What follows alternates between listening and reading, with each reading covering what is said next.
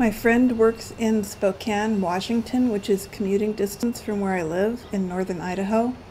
She gave me a ride to the city so I could explore the downtown area while she was working one day. This is what I saw at the Davenport Hotel in downtown Spokane.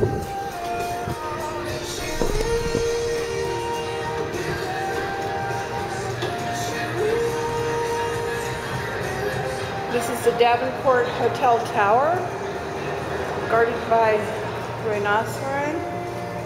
Oh, that one's a hippopotamus. What is this? Where's the tower? Let's go.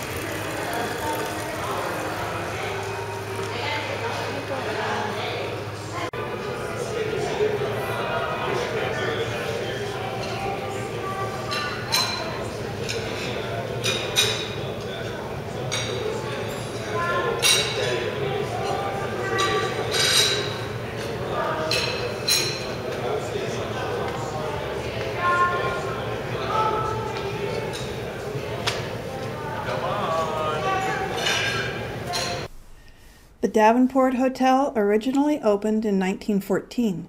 It was the first hotel in the United States with air conditioning. It also had a pipe organ and central vacuum system. After many years, it became run down and in 1985 was closed. Demolition was considered, but instead it was saved by local entrepreneurs Walt and Karen Worthy. Between 2000 and 2002, the hotel underwent a multi-million dollar restoration which included renovation of hand-painted frescoes and the original ornate woodwork, which was repainted to its original glory. It is essentially exactly the same as it was when it first opened, so going there is like going back in history to the ornate grandeur of the 1920s.